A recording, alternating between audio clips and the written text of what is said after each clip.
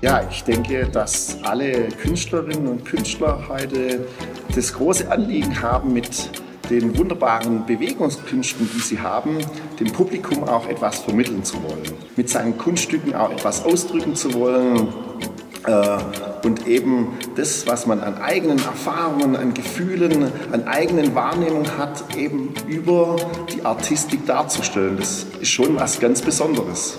Und genau Zirkus kann das. Zirkus hat diese Fähigkeit und diese Kraft. Und jeder junge Mensch hat irgendeine besondere Fähigkeit, ein Talent.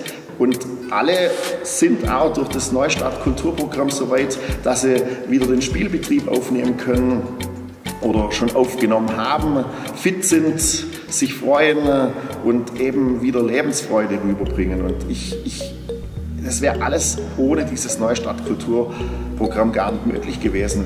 Diese Zeit hat uns alle sehr geprägt, aber hat auch etwas ganz Tolles mit sich gebracht, nämlich dass die Bundesregierung uns zum ersten Mal als ganz eigene Sparte Zirkus wahrgenommen haben. Und es kam ja ein Anruf vom BKM. Äh, die BAG Zirkuspädagogik e.V. soll ziemlich viel Geld in die Hand nehmen und gleichmäßig verteilen. Das kommt aber daher, dass wir mit Förderanträgen und mit öffentlichen Geldern schon relativ viel Erfahrungen über Zirkus gestaltet Vielfalt äh, vom Ministerium Bildung und Forschung gesammelt haben. Das hat ja auch die BAG Zirkuspädagogik vor Jahren schon auf den Weg gebracht, die Professionalisierung. Wir haben ein Anerkennungsverfahren für Zirkuspädagogik Pädagoginnen. Und wir haben alle mitgenommen und haben uns kennengelernt und ausgetauscht. Und da ist jetzt dabei, ähm, also der VDCU, das sind die traditionellen Zirkusse, dann aber auch die Großzirkusse aus Deutschland und Europa, der Tierlehrerverband, die Varietés, nochmal ein anderes äh, Förderprogramm, äh, Zirkus macht stark, die BAG Zirkuspädagogik, der BUTZ, das ist äh, der Verband von, vom zeitgenössischen Zirkus. Und wir haben uns alle gefunden und tun uns wirklich alle drei, vier Wochen lebhaft austauschen, äh, haben auch alle unsere Interessen gegenüber der Politik formuliert, dass wir sozusagen nach Neustart Kultur nicht in die Vergessenheit geraten, sondern gemeinsam mit dem BKM einen Zirkusfonds auf die Beine stellen, wo alle Zirkusverbände gemeinsam Zugang dazu haben und jedes einzelne Zirkusprojekt, das es eben in der Bundesrepublik gibt. Und da wollen wir zum einen ein Kompetenzzentrum Zirkus haben, weil wir gemerkt haben, wir brauchen ordentlich viel Beratung. Also es gibt ganz viele Zirkusse, die brauchen Beratung, um überhaupt an Fördergelder zu kommen oder Bildung voranzubringen. Wir wären gut mit dem Zirkusfonds im BKM und auch unter Claudia Roth äh, untergebracht. Ich weiß, da könnte man dann Brücken schlagen und das zusammen äh, bringen.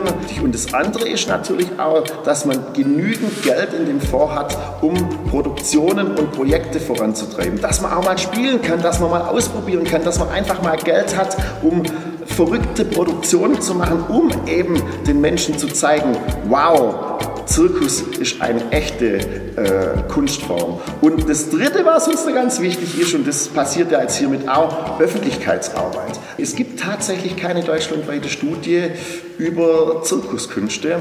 Und es ist auch sehr, sehr umfassend, weil es gibt eben äh, Companies, es gibt Familien, die Zirkusse machen, es gibt Zirkusunternehmen, es gibt Einzelkünstler, es gibt Kinder- und Jugendzirkusse, es gibt Zirkusprojekte, aber für die BAG Zirkuspädagogik kann ich mit Sicherheit sagen, dass es ungefähr 1000 Kinder- und Jugendzirkusse in Deutschland gibt, dass hauptsächlich gerade Menschen aus schwierigen Lebenslagen, aus prekären Situationen den Zugang zum Zirkus finden. Ich glaube, das ist der erste Weg hinein in die Kunst, sie mitzunehmen, hinein ins Leben, zu sagen, wow, du bist wertvoll, du bist wichtig, du kannst etwas. Und das macht Zirkus gestaltet Vielfalt von Kultur macht stark, dem äh, Ministerium für Bildung und Forschung.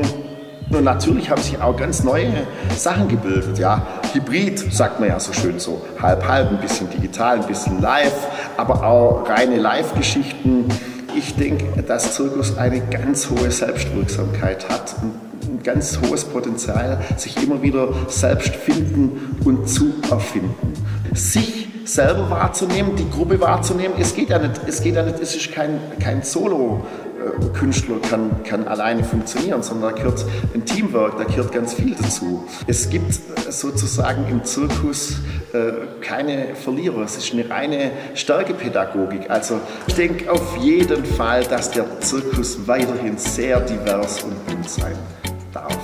Auch eine klassische Zirkusnummer, wo zum Beispiel jemand mit dem Einrad jonglierend über das äh, äh, Drahtseil fährt, ist für mich genauso faszinierend, wie wenn jemand letztendlich äh, in, in hochgesellschaftspolitisches Thema in, in, in einem äh, ähm, zeitgenössischen Zirkus äh, aufarbeitet. Und beides ist wunderschön.